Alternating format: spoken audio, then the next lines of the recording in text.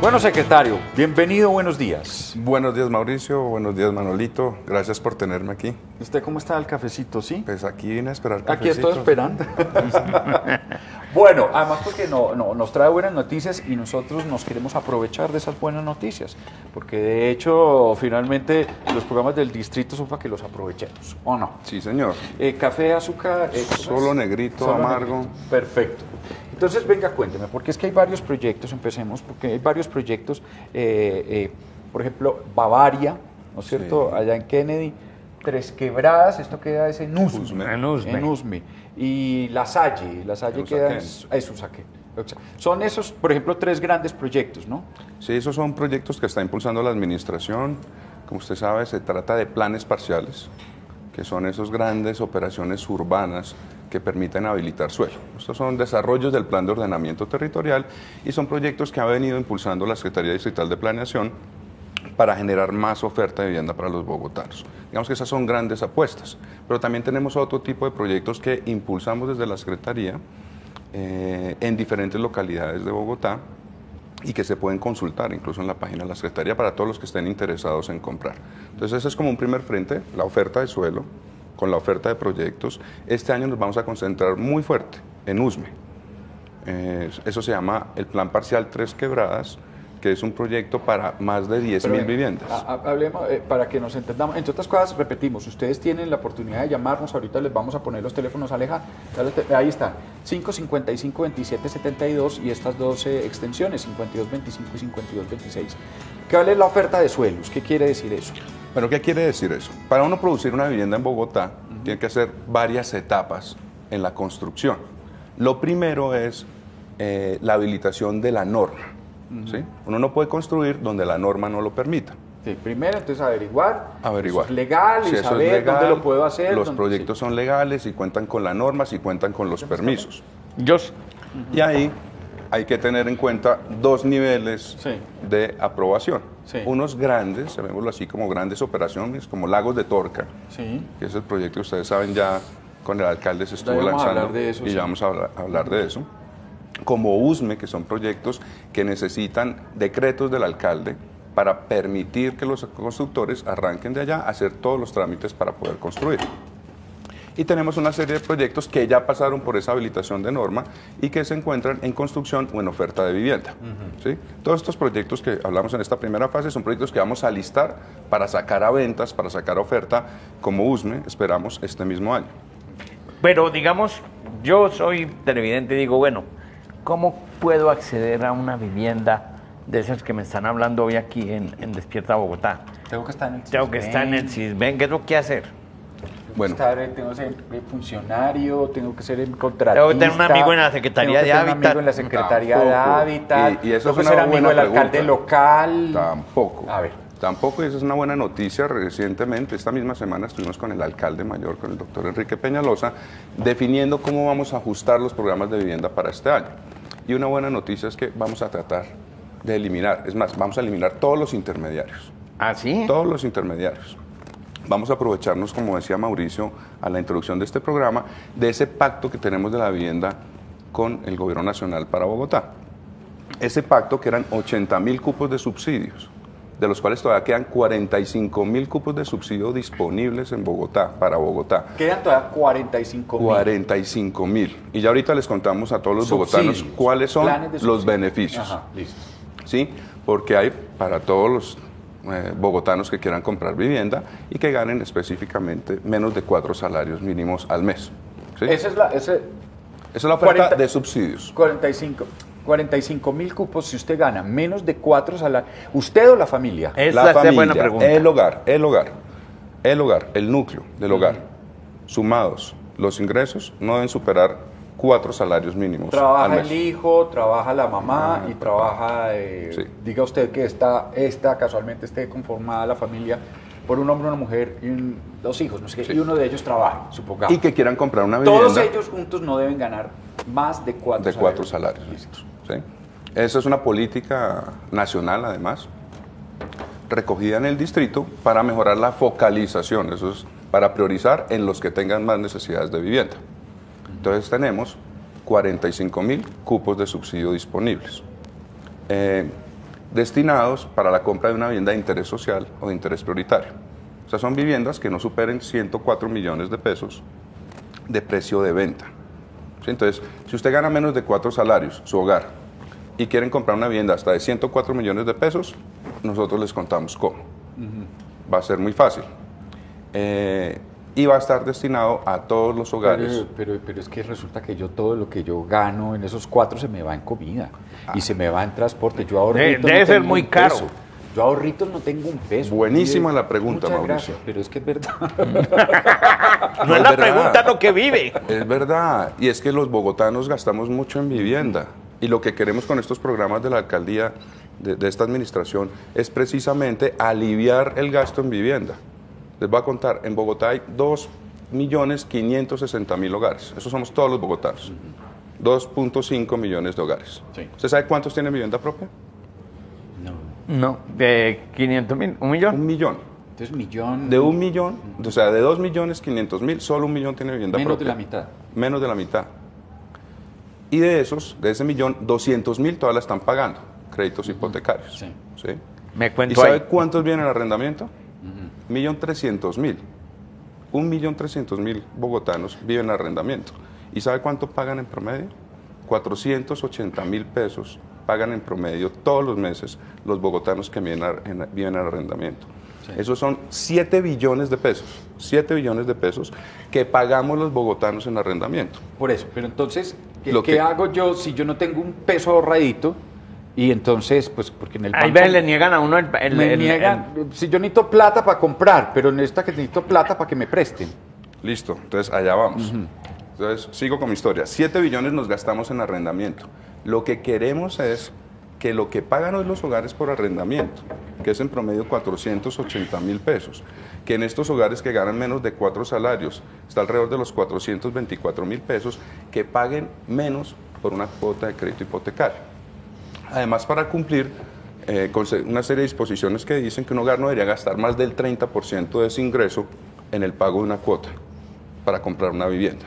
Sí, lo- lo- lo- esas disposiciones lo que me imagino quiere decir, en todos los estudios que han hecho, dicen, si usted paga más del 30%, generalmente, sacrificando educación generalmente o alimentación. se corta, o sea, generalmente no es capaz de No es seguir. capaz de seguir. Generalmente no es capaz de seguir. Nelson Gordillo, un televidente que quiere hacer una pregunta al secretario. Nelson, hola. Nelson. Nelson, ¿lo oye el secretario? Bájele volumen al televisor. Sí, por favor. Muy, muy buenos días. Muy buenos días. días. Eh, yo hice papeles hace cinco años y me dio trombosis hace dos años. Hice la administración del señor Petro y después con PIBE, con el señor Ponalazo.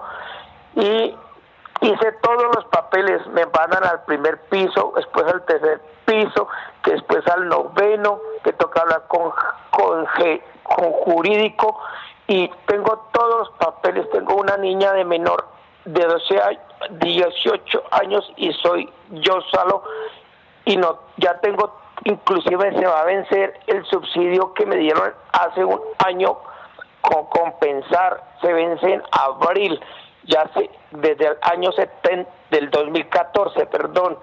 Entonces quiero saber qué hago. Cada rato voy me llevo un papel llevo otro papel y siempre aparte de todo y aparte de todo son de mal genio los señores de abajo regañándome. Yo le dije qué pena pero me dio trombosis colabóreme qué tengo que hacer pierdo el subsidio doctores qué puedo hacer colabóreme qué pena haberlo molestado No, usted no molesta. Muchas gracias No por su no pregunta. molesta. Sí. Bueno, por, sí, por lo que entiendo, Nelson eh, tiene un subsidio de una caja de compensación familiar, Sí. como mencionó allí, eh, que tiene también una línea de atención, como ustedes saben, es otra política, y es que las cajas también apoyen en este proceso. Don Nelson, yo lo que le puedo decir es, eh, vamos a dejar los datos y lo podemos contactar por el privado. no cuelgue, que ahí nos van a anotar los datos. Para atenderlo y poder hacer la gestión ante su caja de compensación familiar y mirar también con los programas que tenemos en el distrito cómo le podemos dar, si es del caso, un apoyo suplementario para hacerle más cercano ese sueño de vivienda. Pero a ver, lo que él quiere decir es, si, si yo tengo eh, una caja de compensación familiar, ¿pierdo la posibilidad con el distrito? En principio, no. Ajá. Y ese es como el gran anuncio donde quiero llegar Ah, ahorita. ahorita, ahorita. Ojo, pues, este Ahorita, anuncio. ahorita, para que estemos A muy ver. pendientes, eh, con toda la historia que yo venía haciendo, ¿cierto? Y es, los bogotanos gastamos mucho en vivienda, gastamos mucho en arrendamiento. Lo que queremos es coger esos recursos, ese esfuerzo que usted hace en arrendamiento y apalancarlo con los recursos de ese pacto por la vivienda y los recursos del gobierno distrital. Le voy a poner un ejemplo, Mauricio, ahorita que usted estaba contando, y aquí tengo un pequeño soplete. Si usted quisiera comprarse una vivienda de 54 millones de pesos, Sí. sin ninguna ayuda, Sí. sin ninguna ayuda, a usted en un banco le van a pedir una cuota inicial del 30%, Sí. como 16 millones, y le van a pedir un, que saque un crédito de 38 millones de pesos, para terminar pagando unas cuotas que pueden estar alrededor de los 450 mil pesos. Eso para un hogar que se gane en promedio un millón de pesos, un millón ciento veinte. es, imposible. Es imposible. Es imposible. ¿sí? Con el pacto por la vivienda O sea, esas son las reglas del mercado. del mercado. Es puro y duro, el capitalismo puro y puro y duro. duro, ese. ¿sí? En la calle, sin ningún apoyo. Con el pacto que tenemos con el gobierno nacional, de esos 45 mil subsidios que todavía están disponibles, usted ya no tiene que sacar una cuota de 16 millones. Va a necesitar una cuota alrededor de los cuatro y medio. ¿sí? Es un ahorro mucho menor. Seguramente va a necesitar un crédito cercano a los 26 millones de pesos y le queda una cuota de unos 230, 240 mil. Eso es lo que tenemos hoy. El gran anuncio es que vamos a modificar, vamos a ajustar el programa de vivienda distrital para complementar esos esfuerzos. De manera que los hogares paguen menos o necesiten menos ahorro para una cuota inicial y podamos subsidiar hasta 40 salarios de lo que vale una O sea, vivienda distrital. ¿cuánto tengo que tener ahorrado más o menos? Más o menos unos 4 milloncitos, eso lo puede hacer uno. Pero lo mejor es que entonces las cuotas del crédito hipotecario le van a quedar más o menos en 160 mil pesos. Ese es el anuncio. Por cada subsidio que aprovechemos del Pacto de la Vivienda por Bogotá, nosotros vamos a poner hasta 10 salarios, casi hasta 8 millones de pesos adicionales para que hagamos un cierre más cercano al valor de esa vivienda. Aparte del subsidio. Aparte del subsidio, o sea, la nación pone 23, nosotros ponemos casi 8, ponemos casi 30 millones de pesos para que requiera menos crédito, pero además con el pacto le subsidian hasta 5 puntos de la tasa de interés. Entonces, es de pasar de pagar cuotas de 450 mil a 160 mil. Mire, eh, Luz Adriana Barrera Barragán nos dice en Facebook, el salario del hijo cuenta para el subsidio, pero queda vetado de por vida para pedir otro subsidio. Entonces, ¿qué pasará cuando forme su hogar? ¿Podría pedir un subsidio para su vivienda propia? Eh, sí, y eso tiene que ver con la actualización de los núcleos familiares. Entonces, sí, sí, Sí, puede. Se puede. Actualiza- se ¿qué los quiere núcleos decir? familiares. ¿Qué quiere decir Claro, eso? Cuando se conforme un nuevo hogar independiente, nuevo, diferente al que, al que, al que se generó en la, en la primera vez en que se otorgó un ¿Sí subsidio. entendió Luz Adriana? Le voy a dar un ejemplo. Si cuando se otorgara un subsidio, usted tenía un hijo de 7 años y con eso fue beneficiario, Sí. lo que no es justo y no es posible y no debe ser es que cuando ese hijo de 7 años, 20 años después, tenga su hogar y tenga sus propios hijos Claro. y cumpla con las No condiciones, no puede acceder. Eso se hace y especialmente en las políticas eh, destinadas a hogares víctimas del conflicto armado, se le denomina una actualización del núcleo familiar. Ese es el nombre técnico, donde se dice, esta es la conformación de un nuevo hogar Oigan, que también cumple con las condiciones. Ahí me nace una pregunta sobre ese tema. Yo soy hijo y tenemos, eh, mi papá dice, les voy a dejar la casa y se la coloca a nombre de los hijos. Y los hijos van cada uno y se va y se casa y tal. Esos tampoco pueden acceder porque aparecen con una casa. Claro, ahí ya es una situación diferente y es que recordemos que los subsidios están destinados a hogares que, como ya dijimos, ganen menos de cuatro salarios mínimos y no sean propietarios de una vivienda en el territorio nacional. Porque si usted ya tiene vivienda, pues deberíamos enfocar los pocos recursos que tenemos a los hogares que no la tienen. Jorge Córdoba, otro de nuestros eh, televidentes que quiere hablar con el secretario. Hola, Jorge. Eh, muy buenos días. Buenos días. Buenos días, hágame un favor. Lo, lo que pasa es que yo soy el único que trabajo en mi hogar, ¿cierto? Me gano un salario mínimo. Entonces, Ay, Jorge. A ver si, si, si restablecemos la, la com- la- la comunicación con Jorge. Sí, se nos cayó. Pero mire, voy a aprovechar porque eh, Están llamando mucho. Sherilyn Anzola. ¿Qué pasa si trabajo pero no tengo prestaciones sociales y mi salario es el mínimo aproximadamente? Bueno, eh, como les decía, en este nuevo programa, eh, las prestaciones sociales que por lo general se le pagan a los formales, ¿sí? Eh, son atendidas por las cajas de compensación, pero para nosotros es indiferente. Para el Pacto por la Vivienda y para los recursos del gobierno distrital, no importa si tiene o no tiene prestaciones. Aquí lo que necesitamos trabajar con los hogares es que tengan por lo menos esos montos mínimos de ahorro y la capacidad demostrada de pago en este caso una vivienda de interés prioritario de por lo menos 160 mil pesos mensuales. Con eso ya se pueden vincular al programa, ya los podemos evaluar y ya pueden eventualmente, si cumplen las condiciones para ser beneficiarios, eh, ser sujetos del otorgamiento de un subsidio. Lisette, Joana, ah no, Robert Cruz, ¿estas viviendas dónde están ubicadas? Porque entonces usted me, habíamos hablado de las, de, de las tres allá en Usme, en Usaquén y en, ¿dónde es que era la otra? En Usme, En Kennedy, Kennedy. En Kennedy, Kennedy. Bavaria. Sí, hay, hay proyectos que están arrancando. Esos son proyectos que acaban de tener una aprobación normativa Sí. y que arrancarán un proceso de licenciamiento y de permisos para salir a oferta, para salir a ventas. Sí. Pero en Bogotá, en este momento, hay por lo menos una oferta de viviendas cercana a las 5.000 viviendas de interés eh, social en toda la ciudad. Yo los invito a que vayan a la página de la Secretaría que es eh, www.habitatbogotá.gov.co para que consulten en proyectos de vivienda dónde está la oferta, dónde está la oferta de proyectos. Y vuelvo y recalco, este año, este año vamos a hacer un esfuerzo muy grande, porque ese es el año de sacar a ventas proyectos como USME, que va a ser la gran oferta de vivienda de interés prioritario para la ciudad. Son aproximadamente 10.000 soluciones que esperamos sacar a oferta antes de, este, antes de que termine este primer semestre. Luz Miriam, una televidente. Luz Miriam, hola. Luz Miriam.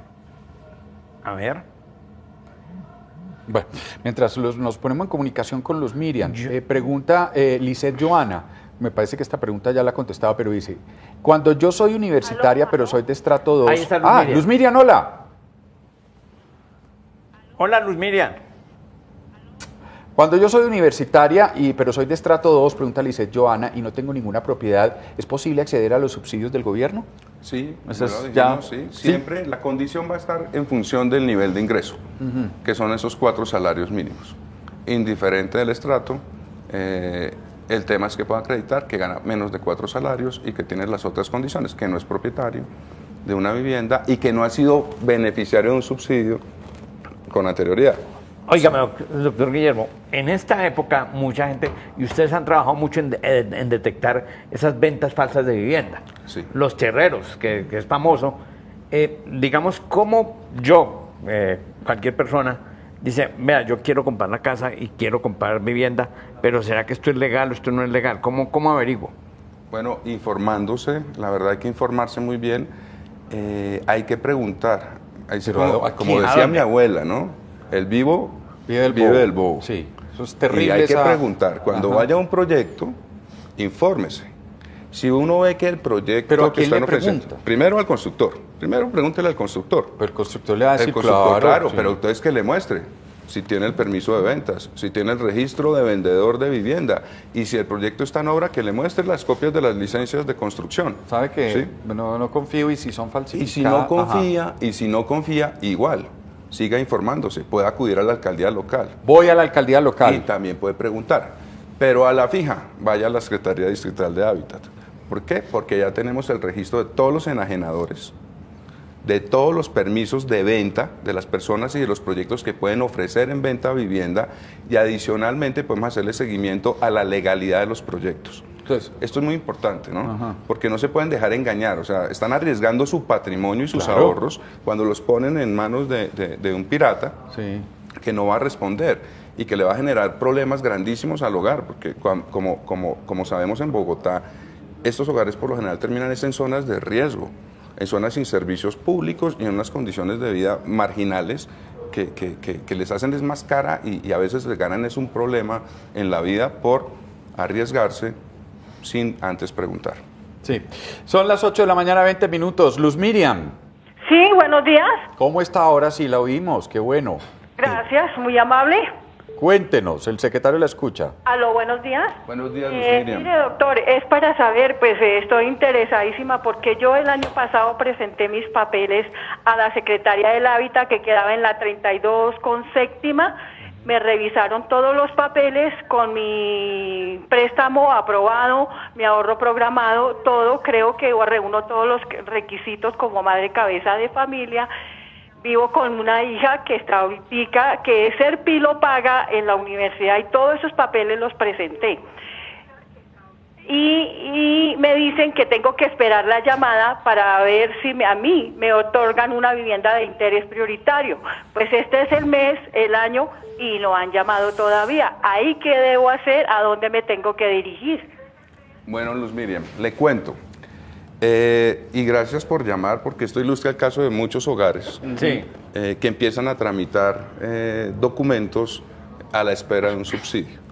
Nosotros en este momento en la Secretaría Distrital de Hábitat tenemos inscritos cerca de unos 15 mil hogares que han ido a preguntar bajo qué condiciones pueden ser beneficiarios. Y hay otros hogares dentro de esos 15 mil, aproximadamente unos 4 mil, que han venido presentando los documentos. Este año nosotros vamos a simplificar todos los trámites para la asignación de subsidios. ¿Qué significa simplificar? Porque me da la impresión de que la gente para le no da pereza por tomarle- eso. Para no tomarle el pelo a la gente. Y eso es importante, porque yo creo que lo que no le sirve a una ciudad, lo que no le sirve a los ciudadanos, y lo que no le sirve a una entidad es crear trámites eh, que se vuelvan un calvario para la gente esperando con la expectativa de tener una ayuda. Nosotros este año vamos a simplificar toda esa mano de registros, toda esa cantidad de registros, de solicitudes y de formularios para que de la mano de ese ahorro programado, de esa posibilidad de crédito aprobado y de ese otorgamiento del subsidio, empecemos directamente en las salas de ventas y con el apoyo de, de los bancos hipotecarios que participan en este pacto por Bogotá a generar la entrega de los subsidios. El compromiso que nosotros tenemos desde la Secretaría de Hábitat para este año es revisar toda esa cola de hogares que se han registrado, toda esa cola de hogares que han presentado papeles y empezar a migrarlos. a ¿Cuánto se demora una respuesta normalmente cuando yo presento el papel y cuánto aspiran ustedes que se demore de ahora en adelante? Le voy a dar un, un- un- un ejemplo, que no es del distrito, pero es del gobierno nacional, que conozco por mi vida anterior. Antes el trámite de un subsidio en los programas del gobierno nacional se podía demorar hasta 12 meses. Cuando empezaron los proyectos como VIPA se demoraba seis meses.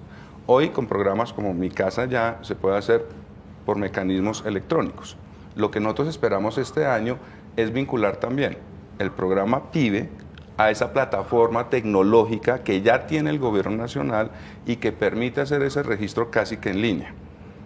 Para evitarle a los hogares desplazamientos que a veces son inútiles y puedan presentar los documentos de una forma más ágil, casi que en la sala de ventas del constructor, delante, eh, al frente del banco. Pero como tenemos un compromiso con una serie de hogares que han venido juiciosos, eh, presentándose ante la Secretaría y que a la fecha algunos de ellos no han tenido respuesta, lo que tenemos como prioridad para este primer semestre es empezar a depurar esa base de datos para verificar qué hogares van a quedar de primeros en esta lista de prioridad para los cerca de 3.000 subsidios que esperamos asignar este año para viviendas de interés social Sí. y de interés prioritario en Bogotá. Secretario, la última llamada, Nancy Martínez. Hola, Nancy. Ah, la última llamada. Nancy, se cortó. No me puede ser tan de malas que se nos corta. Nancy. Bueno, esta es Ya, la, la- mientras Nancy aparece, ¿me regala otro café? Ah, pero con Ah, mucho pero- gusto. Mi vivienda adquirida, dice Manuel Alfonso Peña. Mi vivienda adquirida fue una vivienda de interés social, pero lamentablemente no pude acceder al subsidio y ahora quiero subsidio para arreglo. Pero me dice mi caja de compensación que no, porque es una construcción y o arreglo en su estructura. Quiero saber si mejoramiento como los acabados, dotar las puertas, mejorar el piso o instalación de techos, eh, de alguna manera pueden estar cubiertos por subsidio. Tenemos Es que este, ¿no? mirar, Sí. eh, en cada caso, sí, con la caja de compensación, eh, pero principalmente los subsidios de mejoramiento en cajas de compensación están orientados hacia el mejoramiento de estructuras.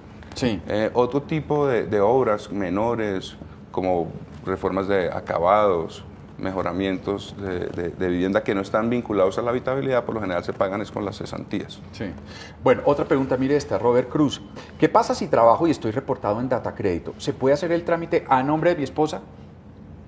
El trámite siempre se hace a nombre del hogar y Sí. los bancos siempre van a vincular al hogar. Entonces, lo mejor es que se ponga al día con sus obligaciones eh, para que cuando vayan del banco no vaya a tener problemas en la evaluación de crédito. Bueno, ¿usted habla chino? No. ¿Y usted? Mm, eh, eh, sí, claro. Mandarín. Mire, eh, eh, mandarín, sí, exactamente. Aquí está, mire, es que si quiere ahorita le traduzco. Mire esto. 贫民区的改造计划。波哥大将整个城市的规划分为一到六六个等级， 而数字越大，也就意味着那个区域的居民可以享受到更充沛的公共资源以及更安全的治安环境。而像我现在所处的这个一类区呢，很多地方目前都没有接入正规的市政用水用电，而居住在当地的人也常常会有一种被城市忽略了的感觉。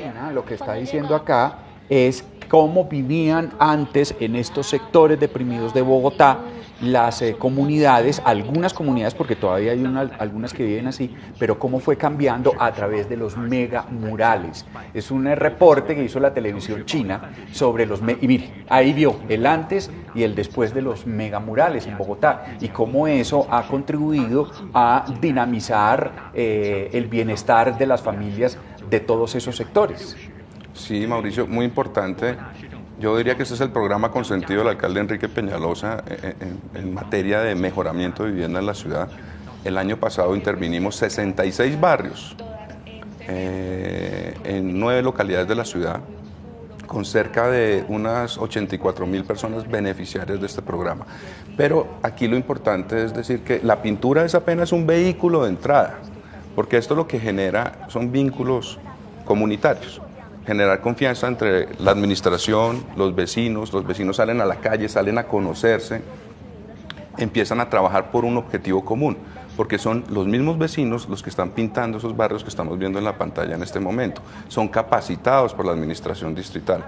Y además vamos integrándolos a diferentes programas sociales. Resultados muy importantes, ya los vemos. Mejora las condiciones urbanísticas del barrio pero mejora el alma de los ciudadanos, se sienten dueños de su territorio y generan cosas como mejora la seguridad en el barrio, mejoran los lazos de convivencia eh, y eh, obviamente participan los niños, los adultos mayores. Este es un programa divino, la verdad, creo que es de los programas más bonitos que yo he conocido en mi vida, diseñado por el alcalde Enrique Peñalosa y que para este año vamos a ir por otras 55 mil fachadas. El año pasado hicimos 67 mil, este año vamos por 55 mil.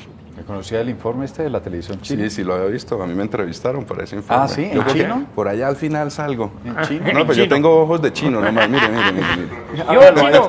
Efectivamente, uno es un pequinés. Un pequinés. Un pequinés, un pequinés. Secretario, gracias. Mauricio, Manolito, gracias por el café, por tenerme aquí en Despierta Bogotá y como les he dicho siempre, cuando necesiten informarle al público, va a estar muy pendiente. Aquí está el emperador Tao Tao. Sí. Tao Tao de café. Tao Bueno, Tao de agua. El Tao Tao de agua. Este parece un budita ya.